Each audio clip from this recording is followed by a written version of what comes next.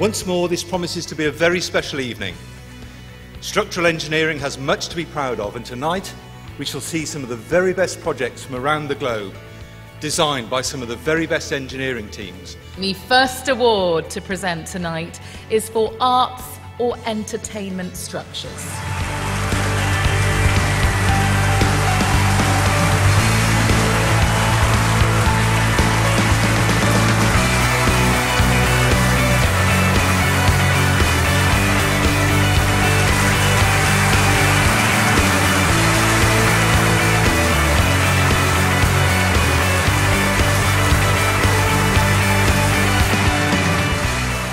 Looking at the shortlist, it is great to see such a diverse range of projects from really all over the world. And I feel very privileged tonight to get a unique insight into the amazing structural engineering projects that are going on worldwide and how they're shaping the world around us.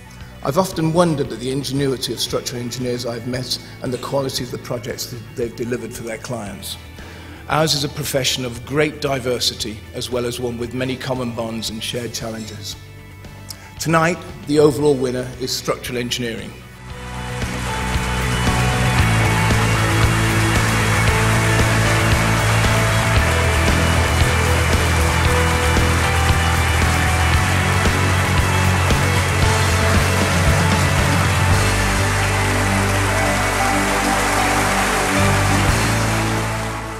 Now come to our penultimate award for this evening, the award for sustainability. The iron market, which is the Haitian equivalent of Grade 1, is of high cultural, historical, and economic importance to the community.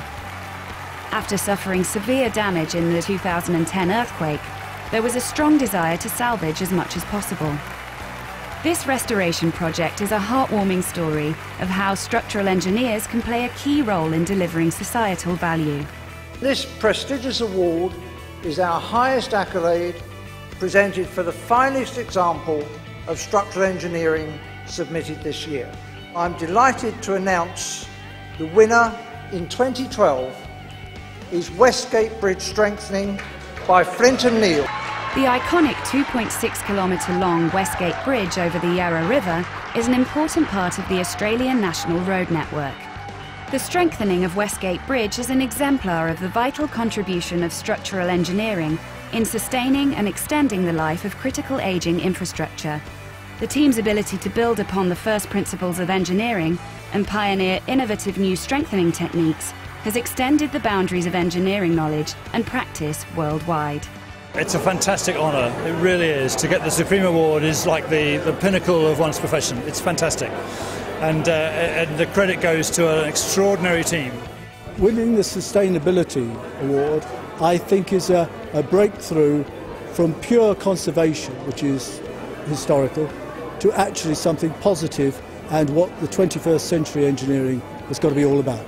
To talk about uh, uh, the, the greatest thing, the greatest engineering structures that we've produced, to meet the people who've generated them, and then to hand out awards to those is, is a wonderful privilege. Uh, ev- every president only gets a one shot at it. I had mine tonight. We'll be able to use this as a springboard to present to clients and say that we've been recognised by the Institution of Structural Engineers. And it's nice to celebrate the excellence of structural engineering, which obviously we are, we are the unsung heroes of uh, engineering. Everybody knows what an architect does, but as engineers, I think it's a, it's a good thing for us all to be celebrated. It's nice to be recognised amongst your peers.